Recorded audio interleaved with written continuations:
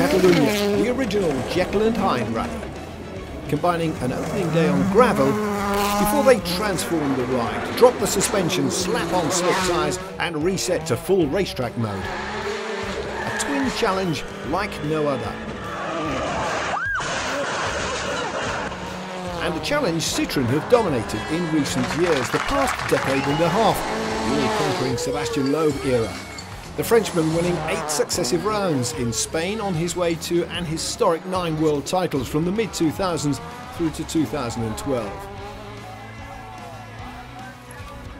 And then a year ago, Loeb clinching that famous comeback victory, outwitting the field and inspired tyre choice in damp conditions to take a remarkable 79th career victory.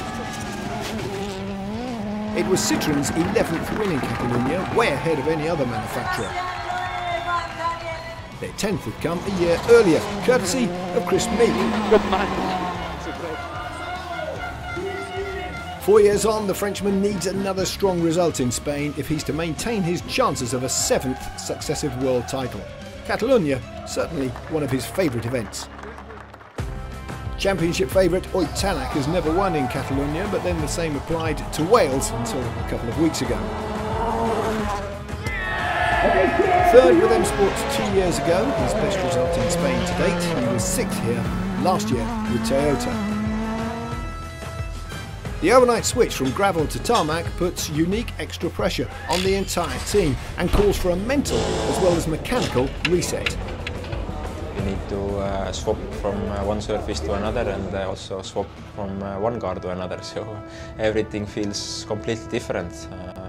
You need to uh, change your rhythm, uh, you need to change your mindset and uh, basically approach very different ways, so it's, it's always a big challenge.